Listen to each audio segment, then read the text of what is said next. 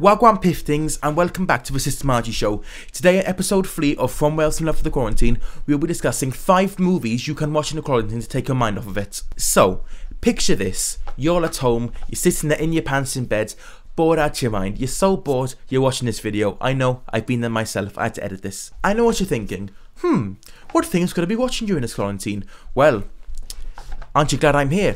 Today I've got 5 things, 5, you could be watching during the quarantine now, let's stop thinking about all the badness in the world and just think about these movies, okay? So the first one I've got for you today is 28 Days Later. Here's a poster for it, absolutely brilliant. This is known for having the absolutely classic song in the sequel 28 Weeks Later. It goes like this. Bong, ping, bong, ping, bong, bong, mm, mm, Now, in 28 Days Later, this kind of virus is made in a lab and it's tested on monkeys and these animal rights activists come outside and they're like oh you can't do this to the monkeys. And like please don't interfere because you know it's going to fuck us up and shit. And they're like oh fuck you. So they mess with the monkeys and then 28 days later everyone's every everyone's everyone's gone. And uh, our protagonist I don't know his name it's been a while sorry um, wakes up after being in a coma and he's like, where the absolute bloody Margie is everyone, right? So, uh, and then it's like the zombies everywhere, and it's, it's pretty cool. Now, there is a sequel called 28 Weeks Later. Don't bother. It's American. Don't bother What's whatsoever bloody ever. Number two, I think you should watch Contagion. Now, it's a little bit American. I know, I understand, but it's a good movie, I do think. Basically, this this a pandemic occurs. It's not very realistic at all. That's the only problem. Because basically, in the movie, they don't really care. The government, they're like, it's fine, and then they're like, oh shit, we do care. It's it's completely unrealistic. Wouldn't happen in real life whatsoever.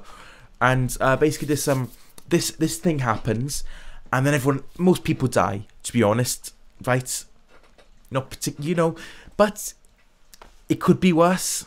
It could be Ebola, which brings us on to our next one. That is number three, which is The Hot Zone. Now, what you're thinking, Margie. This is a book. This isn't. No, it's a TV series now. So stuff it, okay? Basically, this this doctor is like, no, no, no one's getting Ebola. I'm gonna put my life on the line. I am, and I'm not gonna let it spread. It's a good one. It's good. I recommend that one quite highly.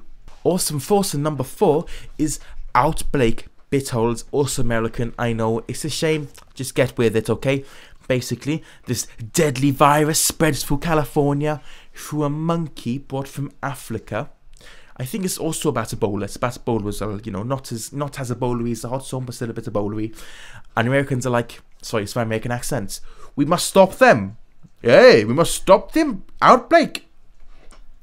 American. And you know, that's that's how that goes, how it happens. Now, finally, the last but definitely not least thing you should be watching during the quarantine is for news. That's why sisters, I'm going hashtag political on you all. All I'm saying is you need to be watching the news. Make sure, you know, you go outside. The news will tell you when McDonald's opens because they're not gonna tell you when you go there, it'll be closed, you know. Just just make sure you're watching the news. Don't go outside, you know, stay the F home. Hashtag stay at home. Hashtag save NHS. You know what I'm saying? Basically um just you know stay inside the house. You can go in the garden. You can go in the garden and see your old neighbor next door occasionally. If he smells a bit maybe a bit um but uh, just just stay safe my sisters because otherwise no one would have watching these videos. I wouldn't have any money okay? So yeah just put it stay safe. And with that i do end this episode of the sister margie show. Thank you very very much for watching and have an absolutely blessed quarantine. Goodbye